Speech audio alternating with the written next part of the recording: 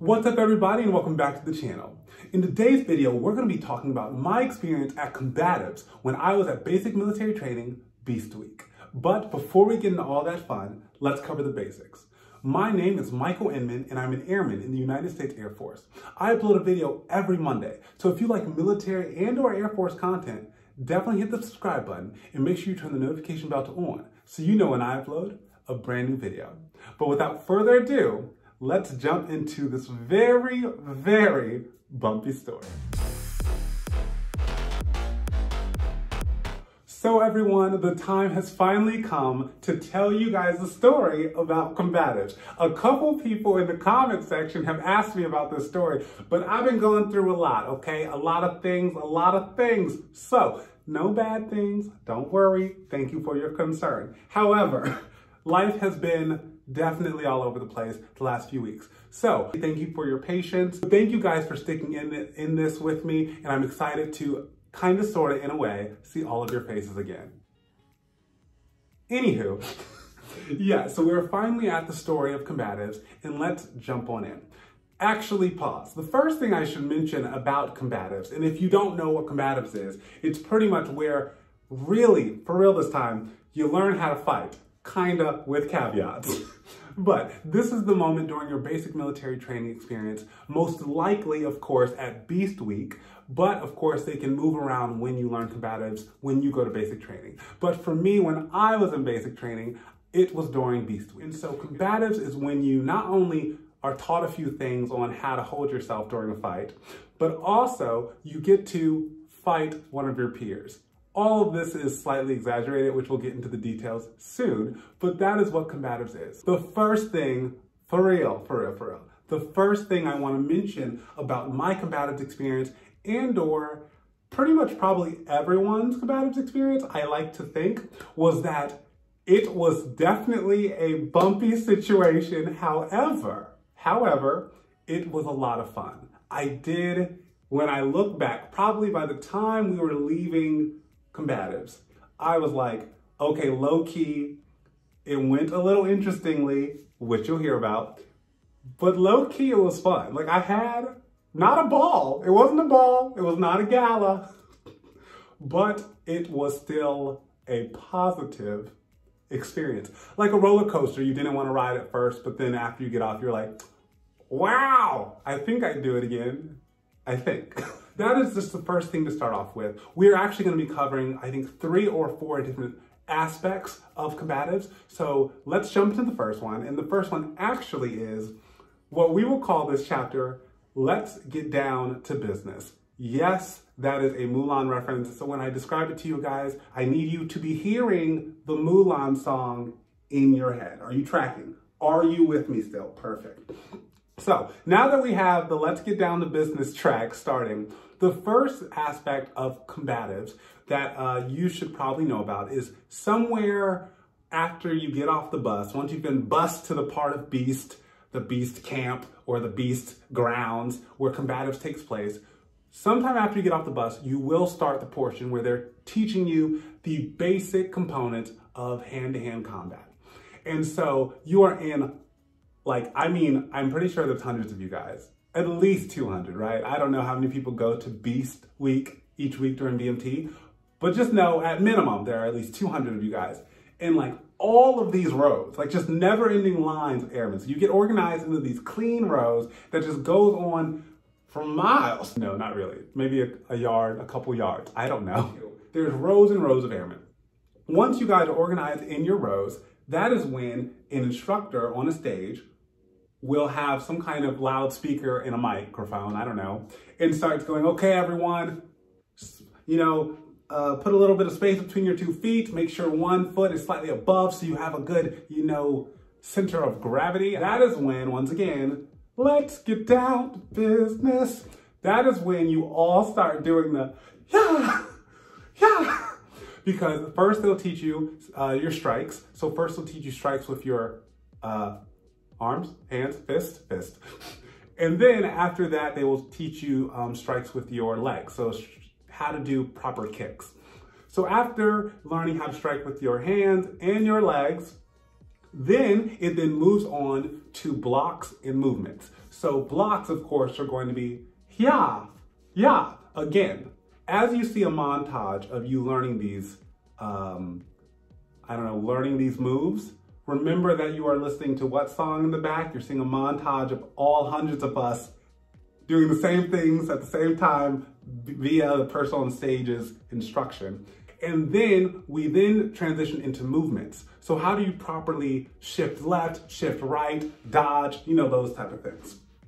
So that's all happening. Maybe you're probably 30 minutes into maybe 45 minutes into this quick, quick how to fight training session. And then the last thing that they then take you into lesson wise is what I call the rebound because I don't really remember the proper terminology. I don't tend to get into fights in alleys. I'm sorry, it's not something that's a pastime as of now. So, so a rebound via my definition is when you fall back and how to like slightly catch yourself or at least land and then put your hand behind you so that you can almost roll yourself back up and be back in the fight, okay? So those are the different elements that you are going to be taught during the let's get down to business portion. Because again, there are hundreds of you guys all facing a stage, at least pre-2020, this is how it went, all facing the stage and doing all these moves in sync because they are instructing you via microphone and all of you guys are learning the same things at once. So it's a very cool um, experience. However, you are starting to build a little anxiety or excitement, depending upon what type of person you are, um, because you know that they're teaching you this because sparring is coming up soon. Like eventually you're gonna have to fight someone and you're like, oh my God, wonder if I get pummeled. Oh no, pummeled or pummeled? Pum, pummeled, pummeled, beat up. I don't know, I really don't. so you're, you're starting to get anxious or you are getting excited because you're like, I already know this, or okay, I, have got it, I'm feeling confident, I'm ready to fight someone. One of the two things are going through your head, or both. Let's move on to what is next. And of course, sorry to just jump right straight to it, but after you are taught how to hold yourself, at least, you know, generally, during a battle or during a, a sparring match, that is when the pairing up starts to happen and the sparring begins. Now, the pairing up, you are told to pair up with someone relatively within your height area, height and mass. So, of course, I was doing a quick scan for people not only in my flight, but also people outside of my flight update. You, at least when I went, you did not spar people in your flight. Now that might be changed now because it seems kind of smart to do it that way now, but at least when I went, you did, you were actually specifically told to find someone in a flight that is not in your flight. So no, you know, releasing frustration with people in your flight that have annoyed you the whole time. Sorry. So you quickly begin to scan for people not in your flight that look similar to you um, stature wise. Because I'm very tall and I'm pretty lean. So I was like, God, please let me find someone like that and not like the only other six four person I could find. And they happen to be like, that would be tragic.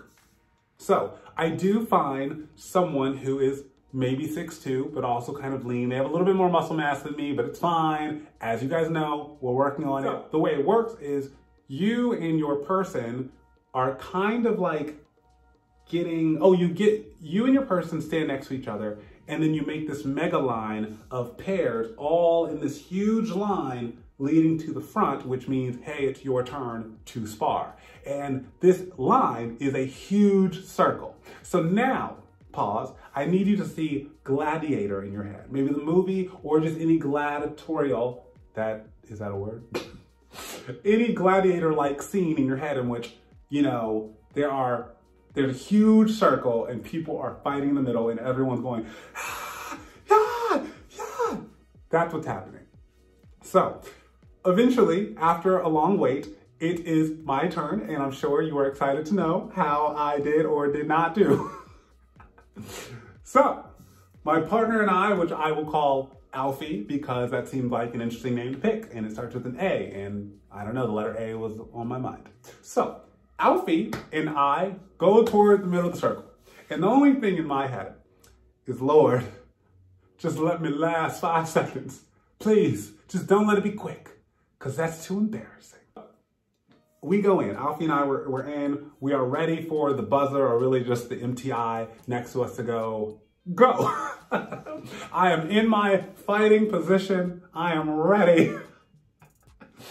and all I know is everyone from my flight is they're looking at me clearly because I don't know if they expect much from me either. So everyone's ready. Everyone's ready to see how I do. The MTI, he says, go. You know, I'm standing there, I'm, I'm dodging, I'm, I'm trying, and then out of nowhere, because of course, uh, Alfie, um, he starts, he, he gets a few, he tries to go for it a few times. And luckily, I think I dodged like one or two. one or two only. Because all I remember is after the one or two that I felt pretty proud that I had dodged, is Alfie was on me like syrup on a pancake. Alfie moved in quick. Out of nowhere, I was being hit left, right, right, left, left, left, right, right, left and right and left. Back and forth, back and forth. So, in this moment of just panic. No, I was not panicking. I was just more like, oh my God, this is what's going on. How do I get them away from me? I'm getting hit left and right and right and left, back and forth. But interestingly enough, I then have another thought of, okay, I'm not quite sure how to get Alfie away from me. But what I am going to focus on is not falling. In that moment, I'm like, okay, Michael, angle forward a, lot, a little bit, keep your feet behind you a bit because there's this force called Alfie pressing upon you. So when you create this kind of angle, his energy is just being directed straight toward the ground because my feet are able to just have it be an angle. So it's like, uh. So thus it's harder unless he did some kind of top to push me this way. It would have been hard for me to now just crumble this way or to just totally fall over because I was at a nice angle countering his that. So long story short, I don't know how long I was up. I don't know how long the match was, but I am proud to say that I did not go to the ground. And that was happening left and right, of course, in other sparring matches. People would go to the ground and the person was on top of them, and then the MTI is like, pause, stop, oh, hey, hey, hey. But for me, I kept getting hit. And at one point, Alfie was doing this, like, you know, where he keeps hitting the middle area, like, and I'm just like, angled correctly and be like, but I will not fall. That was my, you know, resolution. And it, you know, I made sure that it happened. So I was happy that in the end, I did not go to the ground, but Alfie definitely won. but also worth mentioning that my peers in my flight were in a way proud of me because at first they were like, Ooh, you got, that was rough, Inman. We were concerned for you. But you didn't fall. You did it. You just took it. You were just like, I'm not moving. I was a wall that I like to think Alfie couldn't get through. But that's me probably rounding up. If he really, really was trying to push me over, he probably could have. But he was really just focused on doing this a lot. And I was like, I can handle this. This, I'm, I'm fine.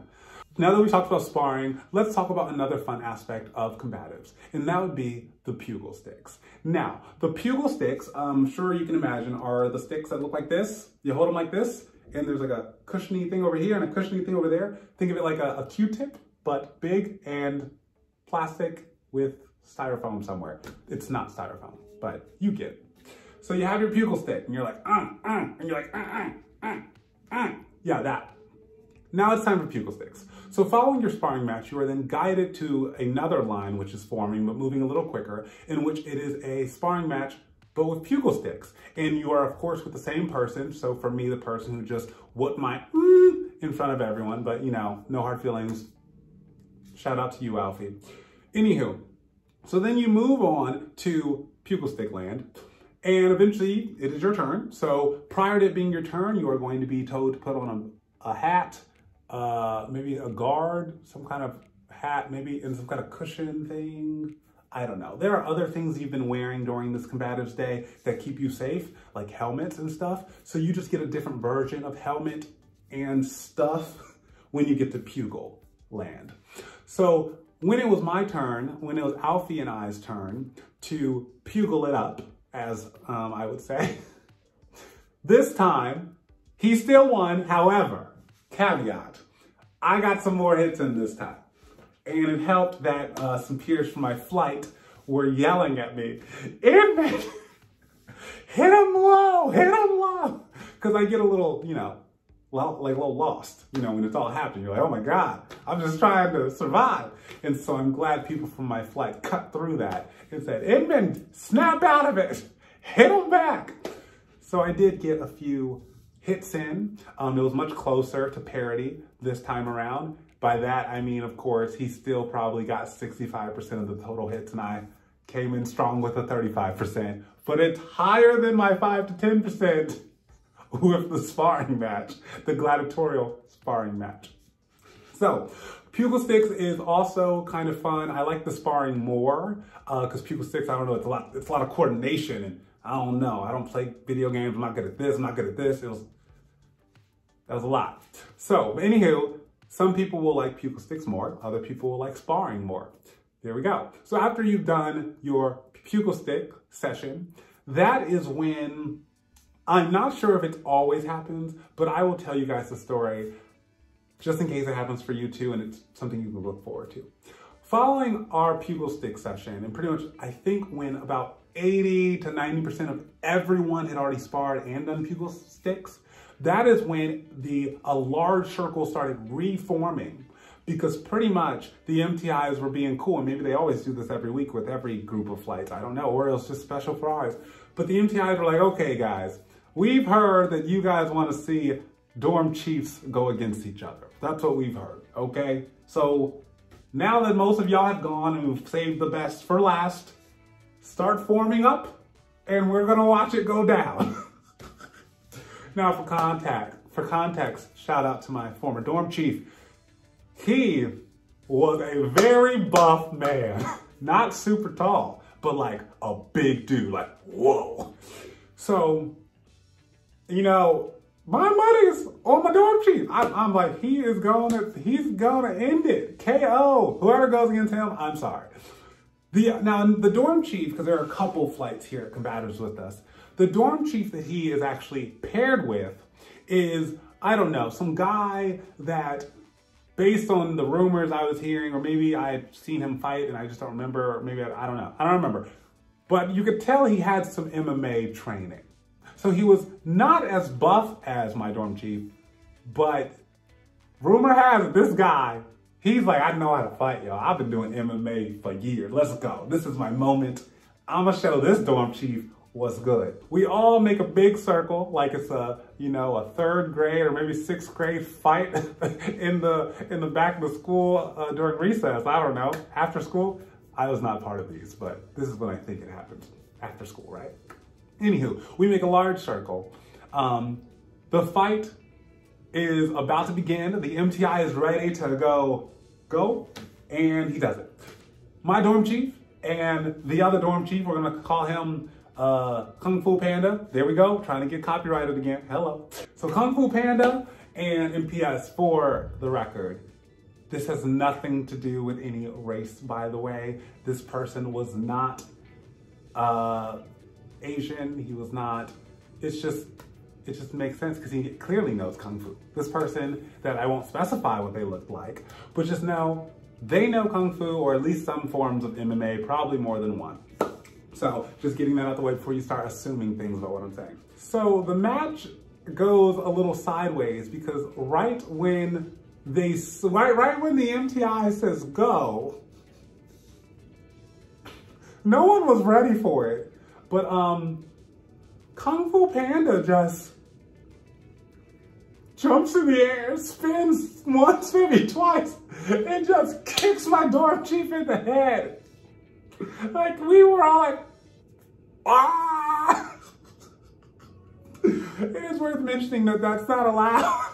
There's no, I don't think you're allowed to kick during the sparring match, first of all. Definitely no jump in the air, spin like you're a freaking Power Ranger and just knock someone out with your foot. And that's exactly what happened in the first three seconds of this match. And the crowd went wild. We were like, what the fudge? That happens. Uh, our dorm chief is on the ground. we're concerned. We're like, does he have a concussion? What's happening? He's not knocked out at all. But we're just like, oh, shoot. Da. So that happens. Um, The MTIs are like, whoa, that's not allowed. You need to go, cancel everything. You just broke the rules. You're probably getting paperwork to be, to be determined.